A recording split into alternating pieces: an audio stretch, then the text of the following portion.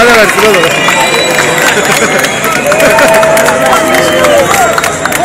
Hande Hanım'ın Manisa'ya üçüncü gelişi. Aynen başkan. Ama bu sefer farklı bir geliş var. Birincisi kapalı salonda olmuştu. Ben bulunamamıştım. İkincisinde mesaj etkinliklerinde. Ama bu akşam muhteşem bir senfoni orkestrası ve arkadaşları bir kere daha alkış rica ediyoruz.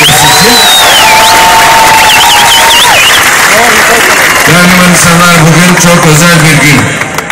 30 Ağustos Zafer Bayramı. Her şeyden önce bize bu ülkeyi emanet eden, bu günlere bizlere bırakan başta Mustafa Kemal Atatürk ve silah arkadaşlarını bir kere daha minnetle anıyorum. Huzur içinde arasında. Onların bize bıraktığı bu cumhuriyeti bekçileri olarak yarınlara, gençlere ulaştırmak bizim görevimiz. Dün neyse günü yarın aktarmak, aktarmak bizim görevimiz. O açıdan hepinize iyi eğlenceler diliyorum. Nice 30 Ağustos Zafer Bayramlarında sağlıkla, sağlıkla inşallah o günlerde buluşmayı nasip etsin bize Rabbim diyorum. Hande Hanım'a bir kere daha teşekkür ediyorum. Gerçekten muhteşem bir sahne performansı bu akşam. Ve fiziğinizle farklı bir güzellik. Teşekkür ediyorum. Hayırlı akşamlar Manisa. Çok naziksin Sayın Başkanım. Çok teşekkür ederim. En büyük başkan bizim başkan.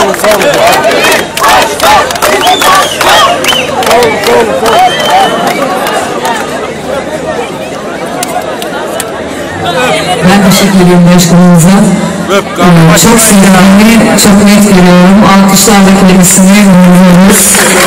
Hizmetlerinizden dolayı biz de çok teşekkür ediyoruz o zaman sağlıklarında. Böyle bir devam ediyor hediyesi. Ama her hediye ver işte. Resim harcında var. Tamam. Bu yıl daha rahatım. Çok teşekkür ederim.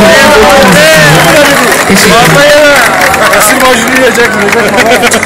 Çok teşekkürler. Çok teşekkürler. Evet. Enerji yapacak her şeyi aldım. Alırsın tabii.